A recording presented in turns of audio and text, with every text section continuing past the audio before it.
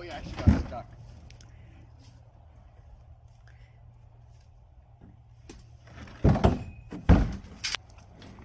Watch your fingers.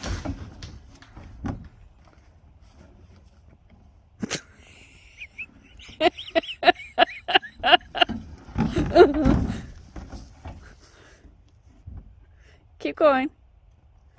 Now, drop, move yourself and let it drop.